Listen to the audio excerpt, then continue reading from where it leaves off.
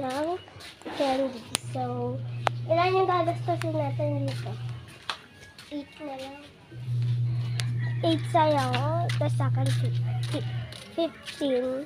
Ano ilan? 15 na lang din sa'yo. Hindi, lima sa akin. Hindi. Lima lang. Kahit 20 lang yung gagastusin natin. Kaya bimig. Ang guys. Bumili na kami. Yan na lang doon pag nandun. Ay! Pag nandun na kami dun sa kalsada.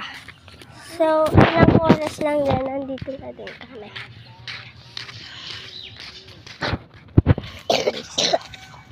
So, hintayin na lang namin. Hintayin na lang.